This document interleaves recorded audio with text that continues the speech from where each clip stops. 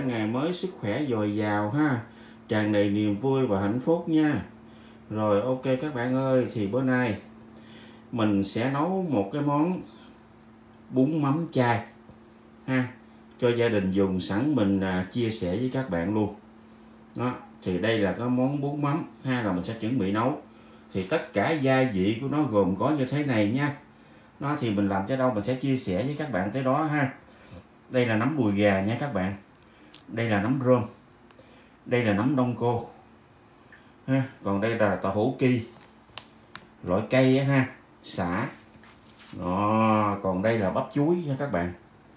Rồi một củ cải trắng cà rốt. Còn đây là cà tím ha một cái củ sắn. Đó còn đây là cái này kêu bằng là củ cải muối ha.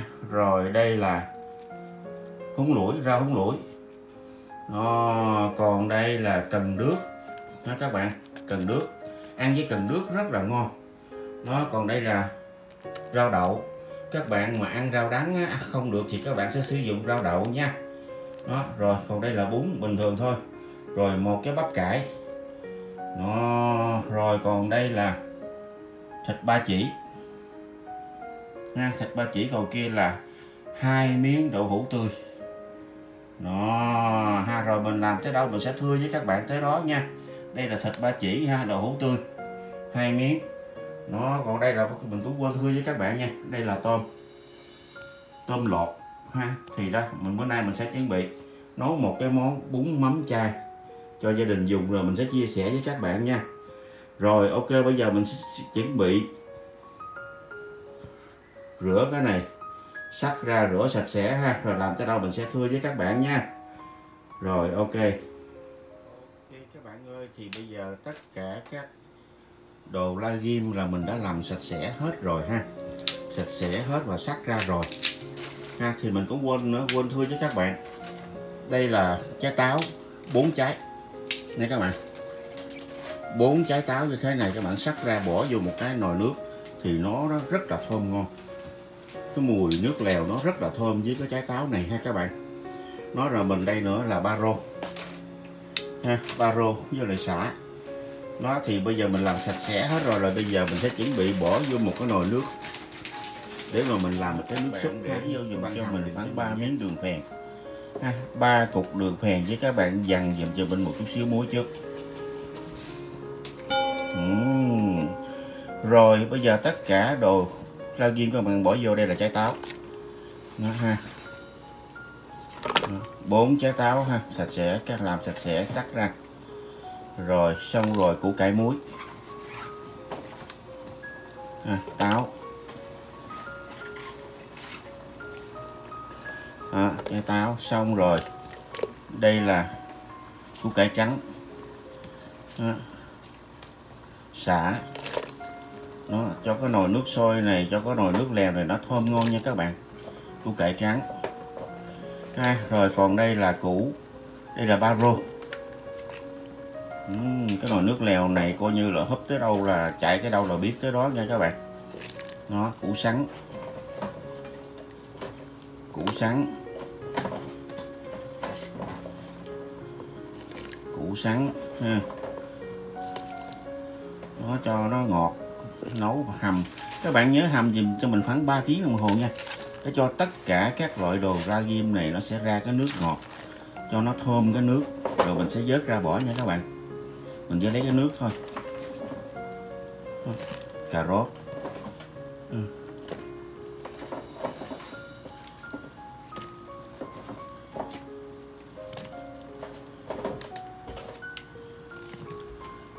củ sắn với lại à,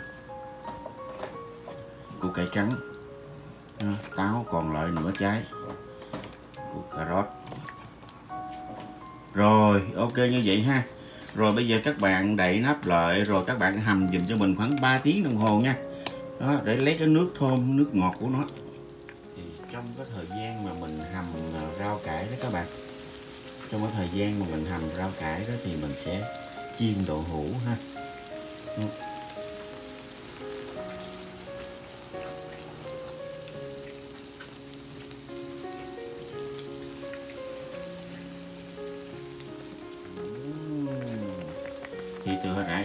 Hầm được khoảng 40 phút rồi nha các bạn. Ra thì nó chưa có nhầm nhò gì hết ha chưa thấm thía gì hết. Các bạn hầm dùm cho mình khoảng 3 tiếng đồng hồ. Để cho cái nước ngọt của cái rau cải nó ra. Cho cái nước lèo này nó đậm đà thơm ngon nha. Rồi ok bây giờ đây là các bạn ơi. hầm thì bây giờ là mình đã chiên đậu hũ xong rồi ha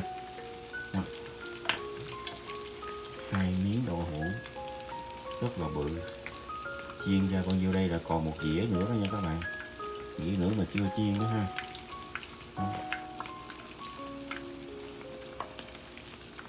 Còn đây là tôm lột.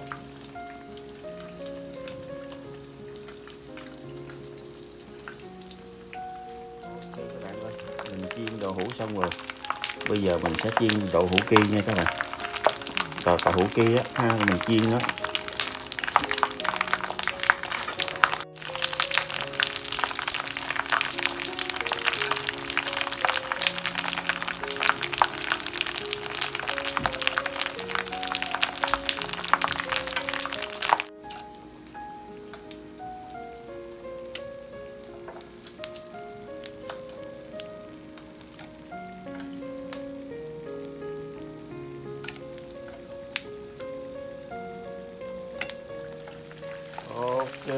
bạn ơi.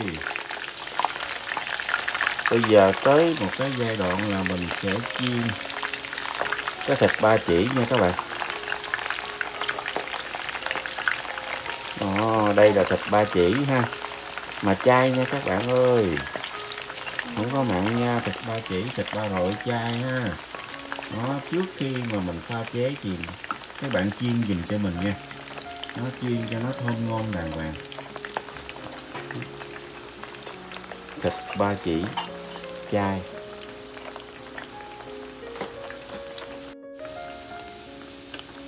Bây giờ là cái thịt heo quay này là nó thơm phức nha các bạn. Thơm phức luôn. Cái này là sản xuất ở Đài Loan nha các bạn. Rất là ngon. Rồi ha, thì bây giờ các bạn chiên như vậy là đã được rồi rồi, ok các bạn ơi. Thì bây giờ các bạn chiên như vậy là đã được rồi ha. Nó ăn như vậy rất là giòn nha các bạn. Rất là giòn. Heo quay. Để lên trên tô bún mắm là coi như là hết bài luôn. Rất là thơm luôn. Thì bây giờ cái công đoạn này các bạn bắt lên dùm cho mình cái chảo ha. Các bạn để vô cho mình một miếng nước xong rồi các bạn cho một cái lon nước dừa coco vô dùm cho mình. Đây đây là cái lon nước dừa coco ha. Rồi các bạn cho vô chung với loại một cái miếng nước lạnh ha. Rồi các bạn bỏ vô trong này một miếng dùm cho mình. Đây là bột niêm. Xong rồi các bạn dằn dùm cho mình một chút xíu muối. Rồi. Xong rồi cái nấm đùi gà hồi nãy đó các bạn các bạn rửa sạch sẽ rồi các bạn sắc ra. Rồi các bạn sẽ trụng sơ với nước dừa. Để một hồi nó mình sẽ làm mực với lại cá nha các bạn.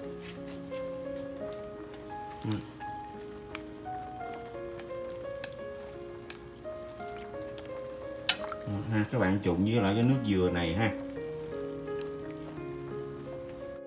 Ok các bạn ơi, thì các bạn trụng như vậy được rồi ha. Rồi, bây giờ các bạn cho nó ra dĩa dùng cho mình nha nó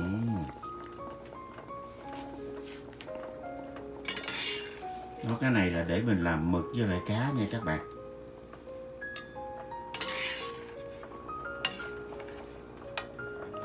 Đó, cái nước mà các bạn trụng nấm đó ha. Các bạn để tôm vô các bạn trụng dùm cho mình. Cái nước này thì nó vẫn là cái nước hồi nãy nha các bạn. Cái nước mà, cái nước dừa coco mà mình đổ vô hồi nãy đó. Nó ha. Thì cái nước này nó rất là thơm ngon rồi các bạn để tôm vô các bạn trụng dùm cho mình nha. Ok, các bạn ơi, thì bây giờ tôm các bạn trụng như vậy được rồi ha. Rồi bây giờ các bạn cho nó ra dĩa dùm cho mình nha.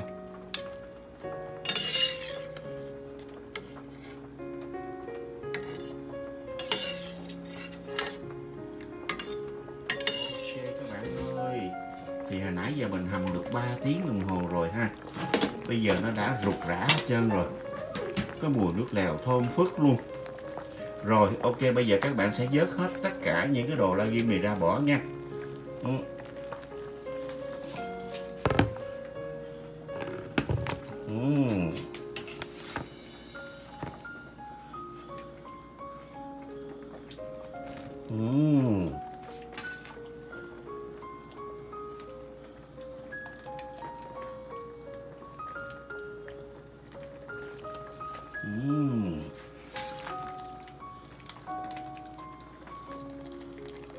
thơm phức các bạn ơi uhm. Rụt rã hết trơn rồi ha, Bây giờ các bạn vớt bỏ hết nha Cái này để cho nó nguội xong rồi các bạn cho nó xuống gốc cây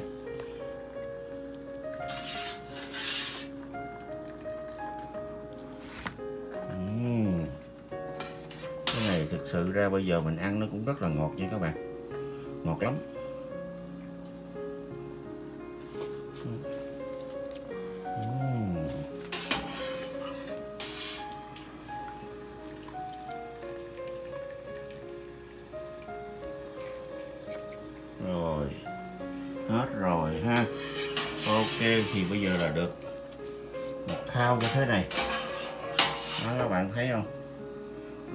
trên đời hết trơn ha. Đủ sắn rồi, Trái táo ha, Đủ thứ hết. Rồi, ok ha cái này các bạn bỏ đi ha, để cho nó nguội, cho nó xuống gốc cây. Ơi, thì bây giờ tới cái giai đoạn là mình sẽ làm mắm nha. Đây là một cái cách làm mắm coi như là thơm phức cái nồi bún mắm chai ha, thì bây giờ các bạn nhắc một cái chảo lên. Khử ba rô dùm cho mình đây là cái công thức làm mắm nha các bạn. Rồi các bạn cứ việc khử cho nó thơm ba rô lên nha. Rồi ok các bạn ơi. Bây giờ cái ba rô nó hơi hơi thơm thơm rồi ha. Rồi bây giờ các bạn để xả bầm vô dùng cho mình. Ồ, thứ nào chịu nổi ha. Rồi các bạn cứ việc khử cho nó thơm lên nha rồi, ok, các bạn ơi, thì bây giờ á, là ba rô với loại xả là coi như là tôm nước mũi rồi. Rồi, bây giờ đây là tới cái giai đoạn này các bạn, để vô dùm cho mình. Đây là tương, đây là hương vị mắm cá trèn nha các bạn. Đó. Xong rồi các bạn để tương rồi ha. Rồi, tới đó là các bạn để vô dùm cho mình. Chao đó.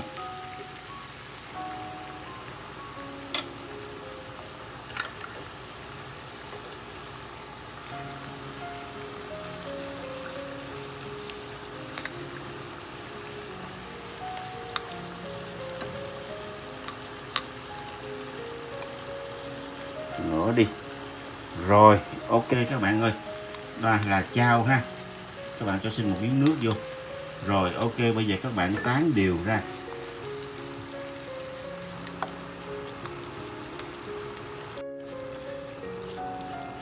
Uhm.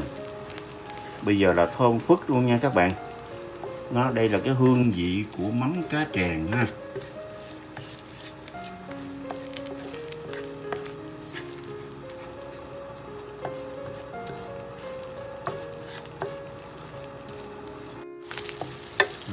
Bây giờ các bạn cho vô một chút xíu ớt bột dùm cho mình. Nó để cho là nó mùi nó thơm đậm đà nha các bạn. Rồi ok các bạn ơi. Khi mà cái mắm á, nó đang sôi như vậy các bạn cho nó vô thẳng trong một cái nồi nước súp dùm cho mình. Coi như là cái mùi mắm này thơm phức nha các bạn ơi. Uhm. thơm phức luôn hương vị mắm cá trè. Các bạn ơi thì bây giờ tới cái công đoạn là mình sẽ xào nấm ha các bạn nấm rơm đó. Ha, các bạn cứ bắt chảo lên ha khử ba rô cho thơm giùm cho mình. Ha, tất cả các loại đồ gia vị là mình phải xào trước đó các bạn. Xào cho nó thơm tho nêm nếm cho nó đậm đà. Rồi lúc đó mình mới bỏ vô nấu nha. Đây là nấm đông cô tươi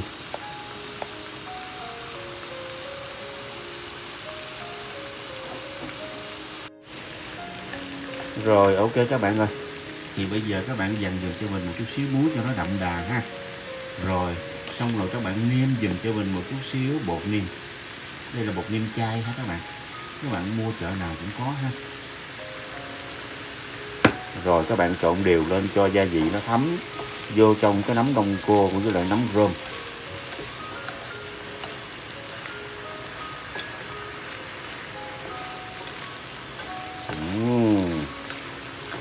Ha thứ nào chịu nổi.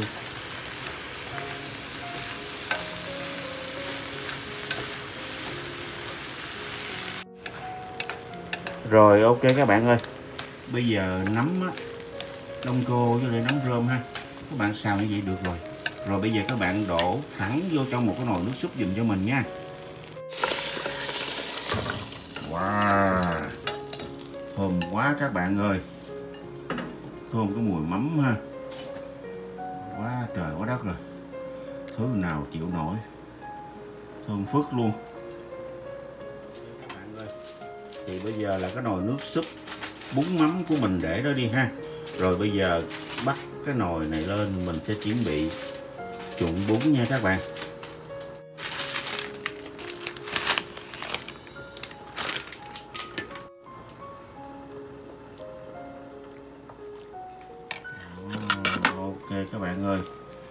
Giờ cái nồi nấm của mình cái nồi mắm của mình nó thơm phức luôn. Thơm như là cái mùi mắm trèn nha các bạn. Uhm, thứ nào chịu nổi. Rồi ha thì bây giờ các bạn cứ việc nêm ha. Các bạn nêm cho nó vừa cái khẩu vị của gia đình các bạn ha. Đó. Đó là muối đường ha các bạn bột nêm. Đó. đó, đây là bột nêm ha. Bột nêm bột nêm chai ha các bạn ơi.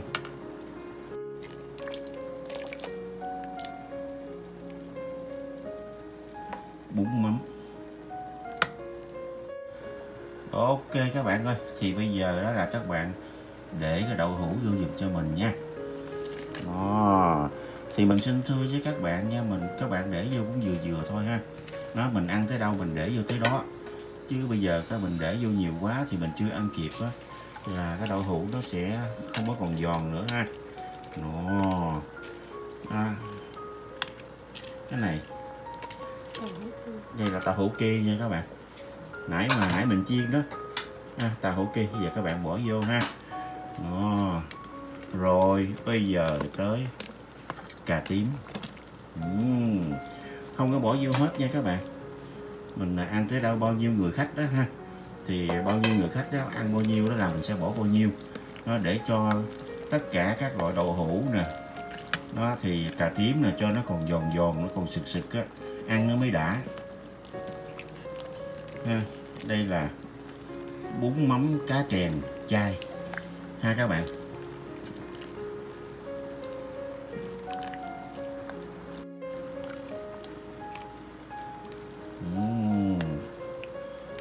Quá các bạn ơi.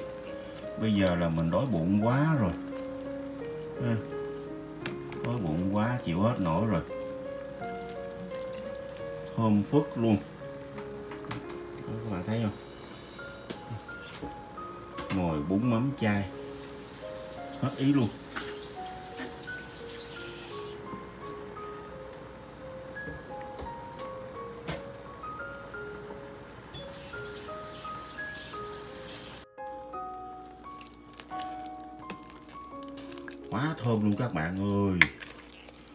Thơm nức mũi luôn. Quá trời. Thơm cả nhà luôn ha. Uống mắm cá chèn chai Đó, thì các bạn nêm vừa vừa khẩu vị của gia đình các bạn ha. Đó. rồi ok thì bây giờ mình sẽ chuẩn bị múc ra tô nha. Mời các bạn nha.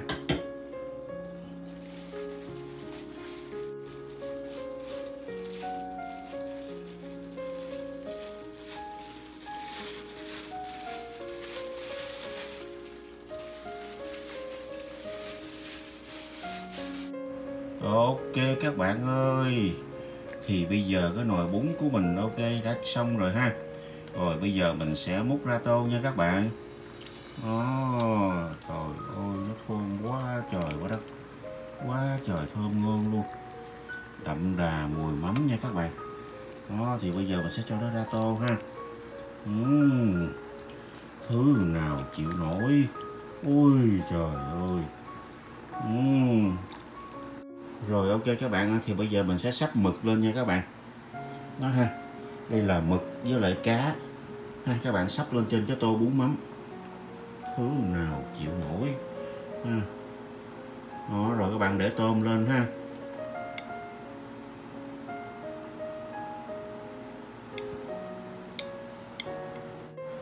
Rồi ha, bây giờ các bạn để heo quay lên ha.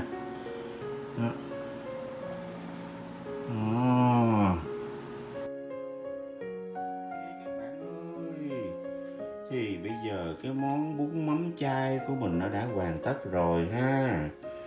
Đó, thì mình làm tới đâu mình chia sẻ với các bạn rất là tận tình và tỉ mỉ nha.